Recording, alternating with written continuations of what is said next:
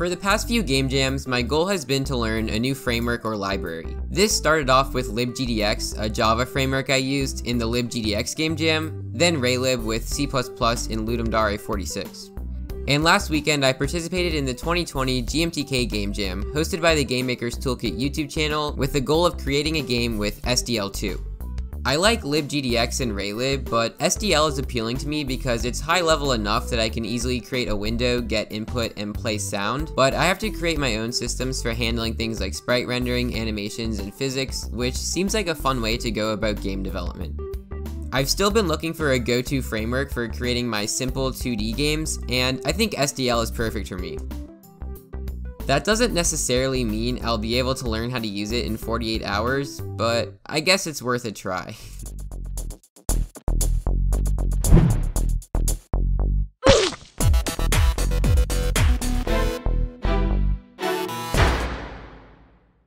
Before the jam started, I wanted to set some things up. First of all, obviously I needed SDL. I followed a tutorial by Coder Gopher that goes over setting up SDL2 on Windows with Sublime Text. I wasn't too sure about Sublime Text at first, but holy f I think I'm in love with it now. It's super customizable with JSON files, which is perfect for me since I use a variety of compilers. And that leads me to the next thing I needed to set up, a way to compile my SDL code to the web, since no one's gonna play my game if they have to download it. I set up Emscripten, which is a compiler that can convert C and C++ code to JavaScript, and to test it out, I made a, um, well, it's like a smiley face, and you see it like bounces off of the walls. So all I needed now to get started was the theme. GMTK jams always have really good themes, and this year was no exception. The theme was revealed to be out of control, and I wasn't the only one who thought it was really clever. I started brainstorming ideas, and eventually I remembered a Club Penguin minigame called Puffle Roundup where you can't control the puffles, but they move away from your cursor so you can kind of guide them around. This fit the theme really well, so I thought it would be fun to try to make a game with a similar mechanic. So I created this basic prototype with a square but not just any ordinary square. This square is allergic to your mouse cursor. It moves away from your cursor and jumps in the air when you press the left mouse button. The closer you are to the square, the higher it jumps. And if you touch the square, it dies, so I guess it makes sense that it's scared of you. So yeah, it's not a direct copy of Puffle Roundup, but you can kind of see the inspiration.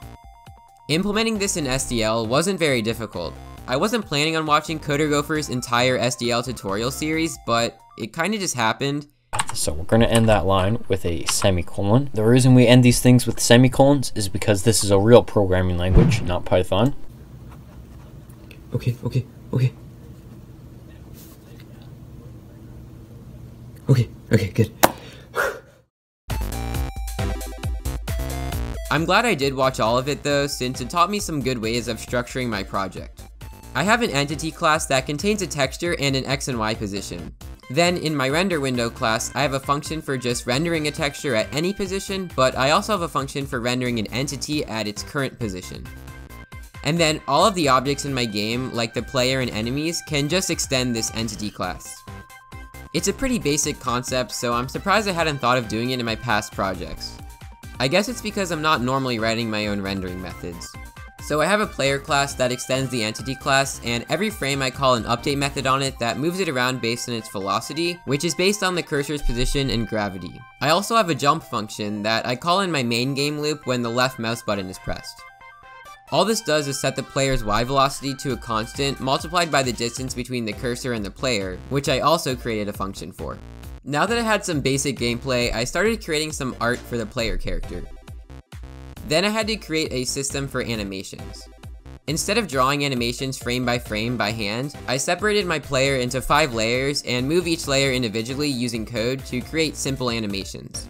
To do this, I modified my entity class to be able to take a list of textures instead of just a single texture. Then, in the render function for an entity, if there's more than one texture, I draw each of them to the screen, starting from the end of the list. I render each texture at the entity's position, plus an X and Y offset that I store in a list that corresponds to the list of textures. So now I can just modify these offsets to create simple animations. I made the eyes look at the cursor by setting them to the cursor's position and clamping their values within the player's head. And the legs are animated using two opposite sine waves which have amplitudes based on the player's current x velocity. So I had this cool little guy that moved away from your cursor, but all I could think of now was, what next? I realized that I got kind of carried away making these animations and didn't really have any ideas for actual gameplay. There were a lot of directions I could take this mechanic. I figured some kind of idea would come to me eventually, so I started working on some ground tile sprites. I took inspiration from the Cap Kingdom from Super Mario Odyssey. Originally, I was planning on making the cursor a ghost, so I thought a gloomy environment would be fitting. I drew a list of ground tiles to the screen and decided to make the player in ground scroll to the left. Then I added collision to the ground and some variation to the ground tiles that respawned. Now this was starting to feel like an actual game. Here's the code for respawning a new random ground tile once an existing tile goes off screen, and here's the code for ground collision.